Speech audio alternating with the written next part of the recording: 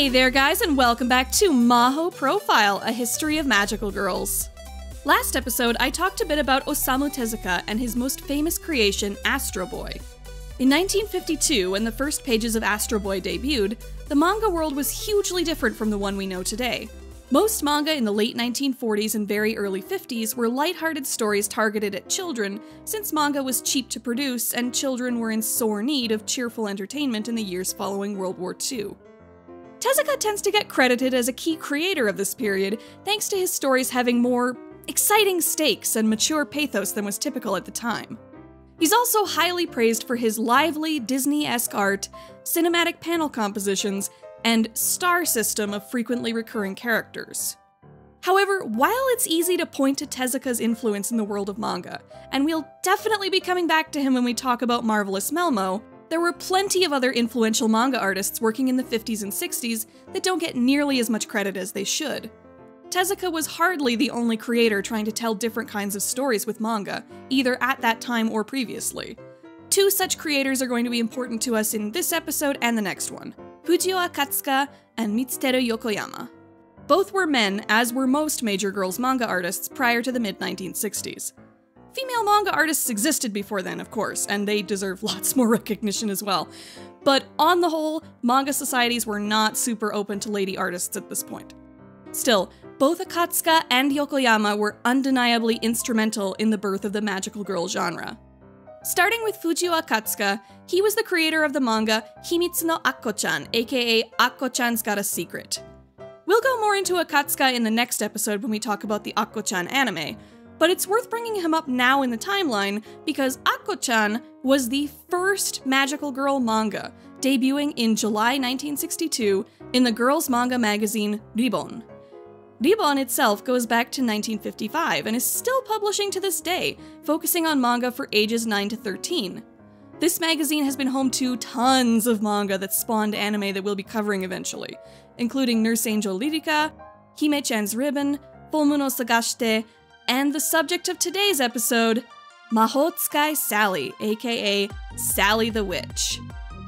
Mitsuteru Yokoyama, a creator usually more associated with titles aimed at boys, such as Giant Robo and Tetsujin 28, debuted the manga version of Sally the Witch in July 1966, four years after the Akko-chan manga. The idea for writing a series about a witch came to him after seeing the American sitcom Bewitched, which aired in Japan as Okusama wa Majo, aka My Wife is a Witch. This is a pretty straightforward title.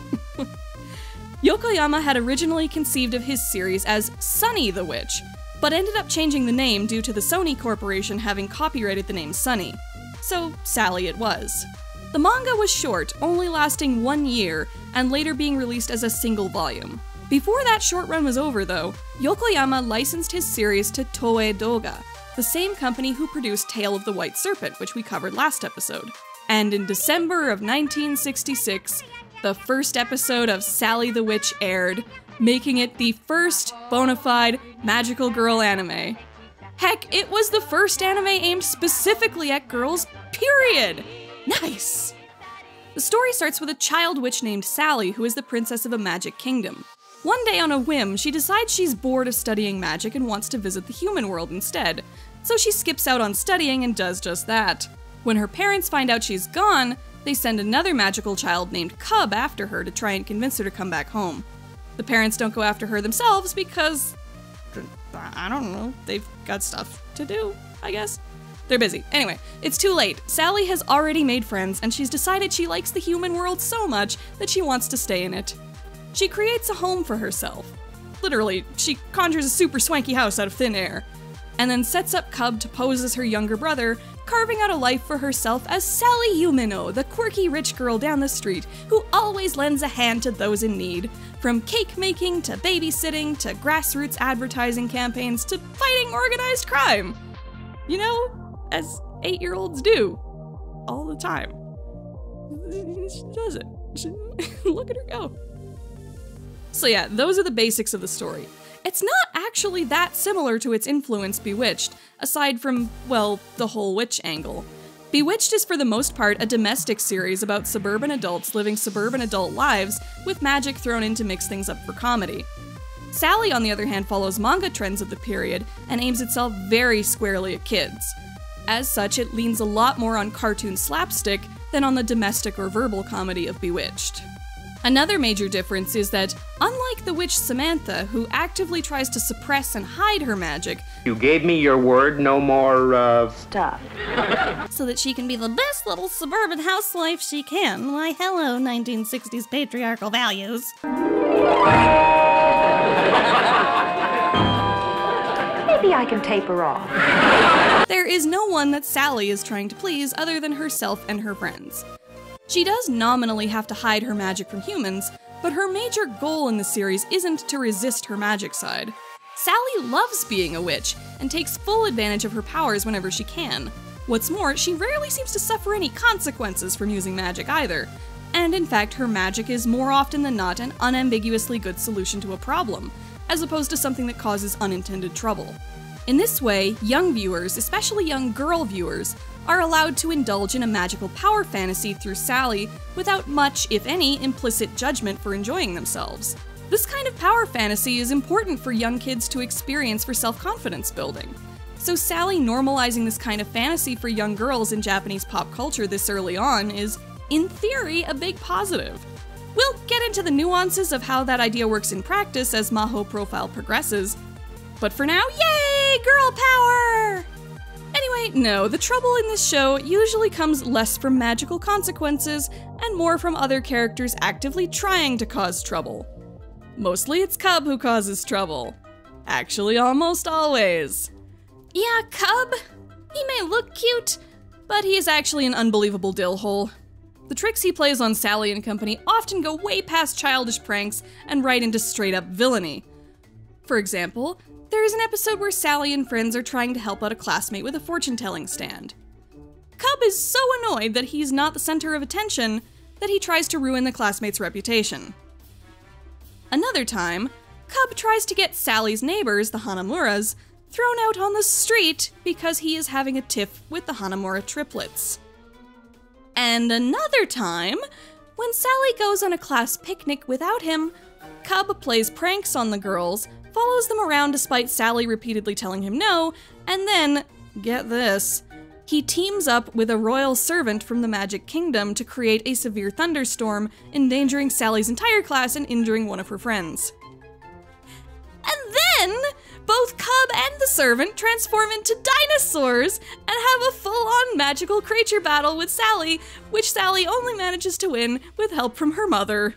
All because someone didn't get to go on a stinking field trip! Ah! And may I remind you, Cub is not a villain in this show. He's a major supporting cast member and is portrayed sympathetically in most episodes. Yet he pulls these awful, annoying stunts all the time. Yeah, yeah, Cub is pretty much the worst. Similarly mischievous, but much more enjoyable, are the aforementioned Hanamura triplets. They cause a lot of trouble on their own, but seeing as they are normal human children, unlike whatever Cub is supposed to be, they never quite sink to the sheer levels of spite that Cub does. They're more along the lines of lovable scamps who, yes, play pranks and cause problems, but you can see enough heart to them that you can't help but like them despite that. This is especially apparent in the way they treat their older sister, Yoshiko Hanamura. Yoshiko, or Yotchan, is one of the first people Sally meets in the human world, and she becomes friends with Sally pretty quickly despite being initially freaked out by things about Sally that she can't quite explain, like appearing ice cream out of nowhere and moving rugs and stuff. Seems like something you'd question a little bit more, but okay. Yoshiko is the eldest of the Hanamura children, and despite having a laid back and casual attitude, she's a very responsible girl who takes care of her brothers to the best of her ability in the absence of their dead mother. And her brothers, for the most part, are respectful of her for that, and behave themselves when she's around. Usually. The second episode shows pretty well how the four of them stick up for each other. Like I said before, the Hanamuras are in danger of getting thrown out of their house, specifically because their father is late on paying the rent. It's Yoshiko's responsibility to go and get the rent for the landlord, and the triplets stall for time for her by demanding the landlord show proof that their father promised a decision about the rent by a certain date. Dang, these kids are savvy about real estate contracts. When the landlord comes back with the proof, they continue to defend their father and sister and refuse to leave the house, even working together to move furniture back in that the landlord is trying to have moved out.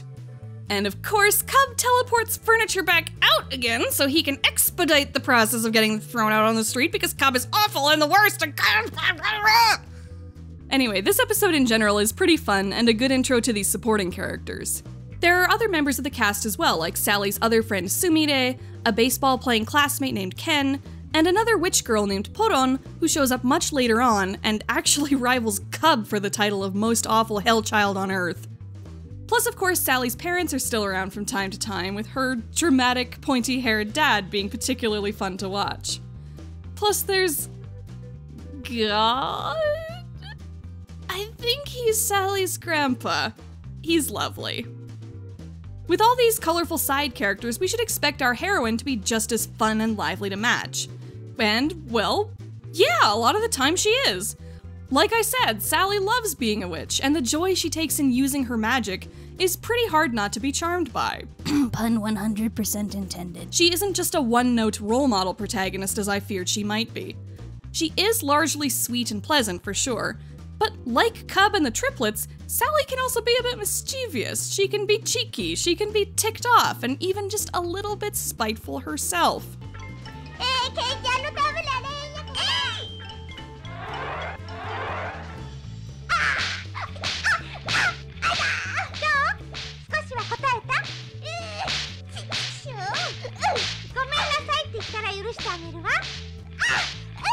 Like, okay. Teaching the school bully a lesson through magical hijinks is fun and all. It's always great to see a jerk get his comeuppance, I get that. But seriously, when you've got the kid up a tree at your mercy, literally begging you for his life, and you are sawing the trunk in half beneath him for the express purpose of crushing him, that is just a little further than most kids take their revenge, Sally. Good God. She's just straight up Terminator here. Hasta la vista, bully!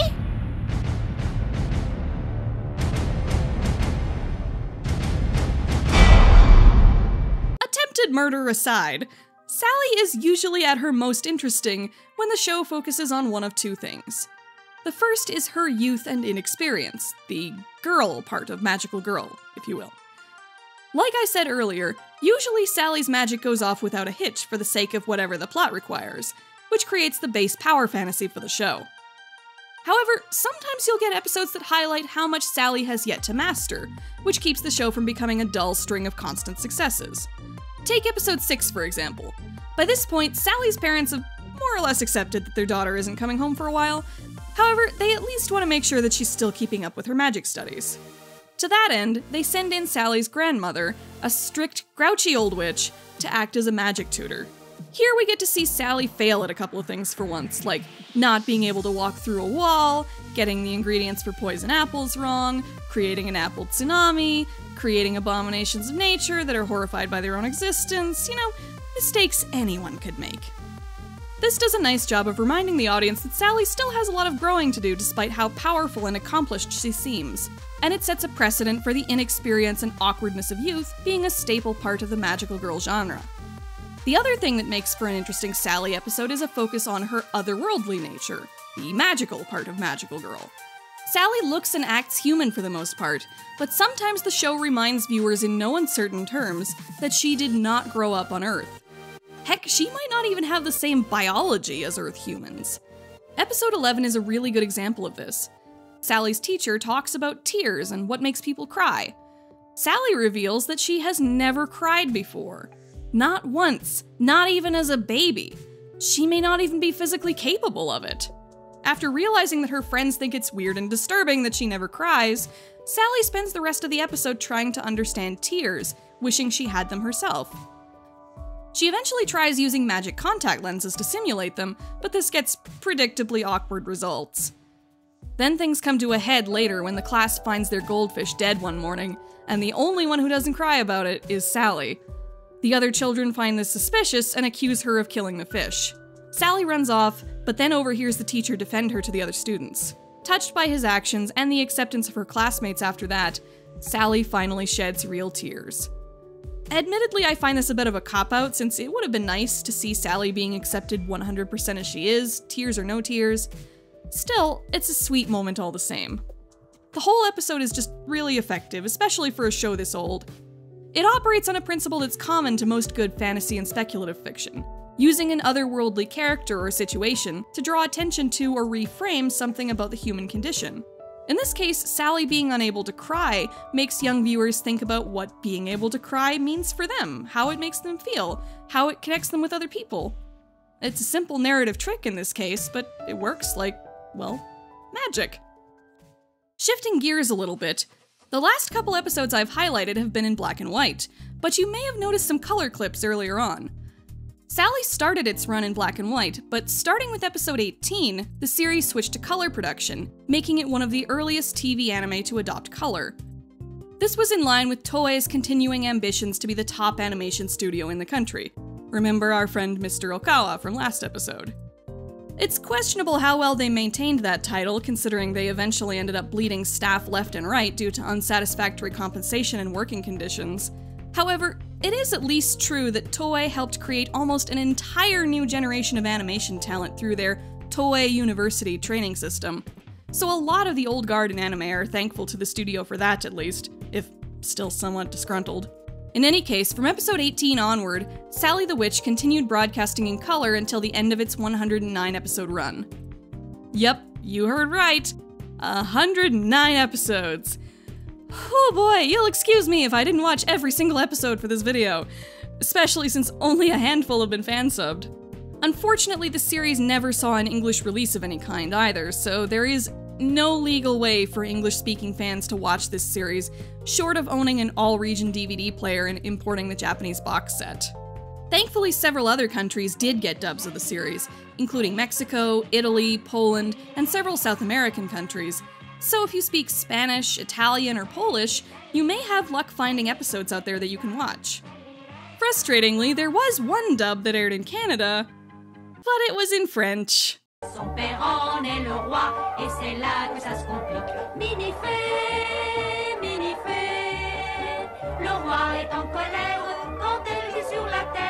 Ah, c'est le Québécois.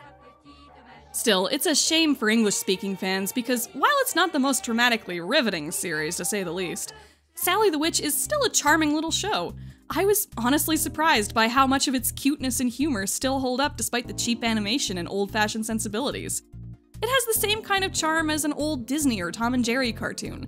Plus, it has the added bonus of being a little more complex than most old Western cartoons, which is really nice to see for a kids' show from this time period. And speaking of old Western cartoons, Due to the influence of imported Disney cartoons during the post war occupation, there are a lot of Disney references in Sally the Witch, such as this scene where Sally's grandma talks about poisoned apples while dressed like the evil queen from Disney's Snow White. Or there's this scene where Cub is waving his fingers back and forth to make a broom dance and walk, much like a certain magical mouse did in Fantasia. Most striking is probably the final episode where. Spoilers for 50 year old anime! Sally and Cub finally return home to the Magic Kingdom in a flying carriage.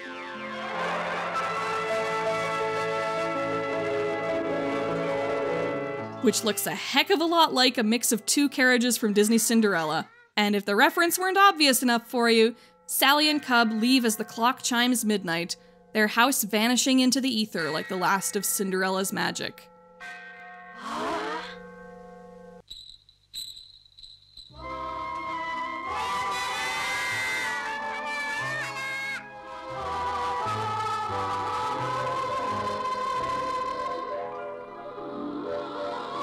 Are lots of other references I could point to, both obvious and more subtle, but really, finding all the Disney influences and references in Sally could probably be its own video. So for now, I'll just say that this strong influence is very interesting to look back on with modern eyes. Disney esque representations of princesses and jewels, carriages and castles, heck, even witches, are all things that we see not just in Sally, but in many Magical Girl series to follow. So, this is definitely a topic we'll be touching on again in future episodes. Another topic we'll be touching on again for sure is the connection some of the staff on this show have to other Magical Girl shows, and to the wider history of anime. There isn't really much to say about the writing or direction of the show, since those duties were all shared by multiple people from what I can find. However, a lot of the voice talent we will definitely be seeing again later. Michiko Hirai, who played Sally, we'll see again playing a mother role in Maho no Mako-chan. Sachiko Chijimatsu, the voice of Cub, we'll see again as Mieko in Sarutobi Etchan, Twin Panther in Cutie Honey, and other bit parts in shows like Mako-chan, Megu-chan, and Tickle as well. Fuyumi Shiraishi, the voice of Poron, would later be the talking cat mascot in Lun Lun the Flower Child. And Kenji Utsumi, Sally's dad, didn't do many other Magical Girl series, but he did have a huge decade spanning career, and fans today probably know him best as Shenlong from Dragon Ball Z, Raoh from Fist of the North Star, and Armstrong from Full Metal Alchemist. Oh yeah, and there's also Masako Nozawa, the voice of the triplets and Sally's mom, who's done, you know, a few bit parts here and there, a few parts in Limit Chan, Akko Chan, Chappie, and oh, I don't know, Tetsuro in Galaxy Express 39, Kitaro in Gegege no Kitaro, and motherfucking Son Goku in motherfucking Dragon Ball Z. Oh shit! However, the most well known staffer on this show was not a voice actor, a writer, or a director, but a lowly animator who was making a name for himself as the head of the Toei Labor Board. A promising young upstart you may have heard of, named Hayao Miyazaki. Yes, Mr. Anime was a mistake himself, worked on Sally the Witch. Actually, Miyazaki originally wanted to work for Toei after being inspired by Tale of the White Serpent. The scale and wonder of the film left a huge impact on him, and he even admitted to having fallen in love a little bit with the character of Bai Niang. That's right, you have a proto magical girl in part to thank for bringing about Totoro, Spirited Away, Castle in the Sky, Princess Mononoke, and many, many high quality memes. The Anime News Network Encyclopedia lists Miyazaki as a key animator for episodes 77 and 80 of Sally the Witch. While I can't say for sure which sequences he worked on, I can say that in productions this old, it was a lot more common for key animators to handle most of an episode or even entire episodes by themselves. So I would not be surprised if the bulk of these episodes feature Miyazaki's work. Episode 77 especially has a lot of standout animation moments, such as this sequence of Poron shrinking down the triplets in a car, followed by them driving through giant leaves and underground tunnels. These shots have a surprising amount of detail and try for some interesting perspectives, such as when this mole chases a shrunken down Sally through the tunnels.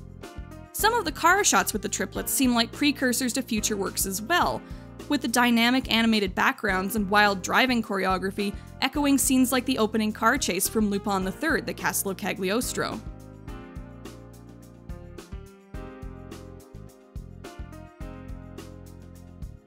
It turned out that none of this was Miyazaki's work, and I highly doubt that because that is totally a Miyazaki mole, this is all some stellar animation work for a weekly show from the late 60s, and it's interesting either way to see that this is the kind of production that Miyazaki cut his teeth on. Okay, so that's about all I have to say about the 1966 Sally series. I would say that wraps us up, but I still want to touch on a few related things that came out after the original anime. First is another series called Sally the Witch that lasted 88 episodes from 1989 to 1991. Despite having the same title as the first series, this was not a remake or a reboot, but a direct sequel. For that reason, the series is often called Sally the Witch 2 to distinguish it from the 60s anime. In it, Sally is preparing to be crowned Queen of the Magic Kingdom when she finds out that Yoshiko's father has been hurt in a car accident, and that his taxi, the family's livelihood, is about to be junked. Sally, alarmed, tries to sneak out of her coronation with help from Cub and Poron, only to be discovered by her mother. Continuing the tradition of being a remarkably free range parent, Mama lets Sally go to her friends, giving her a new magic wand to help her. After saving the Hanamuras, Sally puts down roots on Earth again, and the series continues in much the same way the 60s anime did, with Cub and Poron following Sally to Earth and the whole group having more adventures together. The difference between the two series is obviously that Sally the Witch 2 had a higher budget and more modern animation techniques to work with, allowing for flashier magic, smoother motion, and more character expression than the original series. It also worked in a lot more tropes that had become staples of 80s anime, and especially 80s magical girl anime, such as a colorful animal sidekick, a suspiciously marketable magic item, and a lot of stereotypical 80s villains and plots. In addition to the main series, there were also two TV specials and a short theatrical movie made during this period. All three involve some kind of bad magical woman sowing evil and discord, usually by kidnapping one or more children, and then in the end, the bad woman realizes that she was in the wrong the whole time and comes to her senses. Everyone goes on their merry way, the end. If you're curious about Sally the Witch, but don't think you'd be able to sit through the old black and white stuff, I recommend tracking down the movie for sure. It's very short, barely longer than a TV episode, and it's been fan subbed in English, so it'll give you a nice one and done taste of the franchise. Granted, it's a bit more high fantasy than most other Sally stories, but still, if you're only gonna watch one Sally thing, it's a pretty enjoyable thing. Anyway, last couple things I want to mention before we finish. First is a 2015 song and music video by the idol group Anger Me. Uh, wait, no, it's Angerme? Angerme? Oh my god, idols, stop it. Anyway, this group released a song called Mahoutsukai Sally. And what do you know? It's a revamp of the original Sally theme, and a dang catchy one at that. I can't play it here due to YouTube's ever present copyright bots, but trust me, it is a major earworm. I recommend looking up both that song and the theme songs to the 60s and 80s anime to compare it to, as the evolution of the song itself is pretty interesting to hear. Last but not least, there is one more notable appearance Sally has made in anime, and it is not as Sally, but as Sunny. Remember that Yokoyama originally wanted to call his witch Sunny? Well, in the 1990s, there was a direct to video series called Giant Robo The Day the Earth Stood Still, which was nominally an adaptation of Yokoyama's Giant Robo manga. However, due to a big, complicated mess of copyright that I will not get into, the staff working on this series could not actually use any of the characters from Giant Robo, except for the main character and the robot itself. So instead, the director of the series, Yasuhiro Imagawa, populated the supporting cast with characters from Yokoyama's other manga series, including Tetsujin 28, Water Margin, Babel II, Romance of the Three Kingdoms, and of course, Sally the Witch. The whole series is massively fun, even if you're not at all familiar with Yokoyama's works, with a lot of influences from Wagnerian opera, expressionist and noir film, and the sheer balls to the walls craziness that is super robot anime. It's only seven episodes long, yet the series took six years to make almost. So each episode is filled with astounding levels of animation quality. It's one of the most sincere love letters to a manga creator's work ever put to screen, and even though Sunny slash Sally's part is small, it's extremely satisfying to see her and all these other rescued Yokoyama characters play off one another in this grand story. Definitely check it out if you can. And of course, again, if you can find the original Sally the Witch in any way, shape, or form, I highly recommend checking out at least a couple of episodes of that as well. You'll get a taste for what anime was like back at the dawn of the medium, You'll get to see the groundwork the show laid for many series to follow. And most importantly, you will get a cute, funny little show about magical hijinks that's still fun to watch today. And in the likely event that you can't get a hold of it, I hope this video at least gave you a good impression of what the show is like. That's all for today. Next time, we will be moving on to the second major trendsetter of the genre, Himitsu no Akko-chan, the first transforming magical girl anime. See you guys then!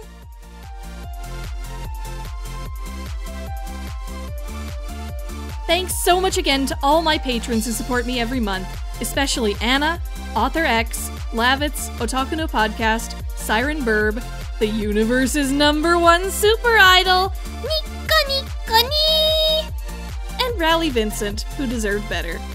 Come on, you know she did. I wouldn't be doing this if not for the generous support of viewers like you. You can support me on Patreon for as little as a dollar a month at patreon.com slash Cerise. You can make a small one-time donation at ko-fi.com slash or you can always share this video and leave a like or comment to show your support. Thanks so much again, and have a good day! Goodbye!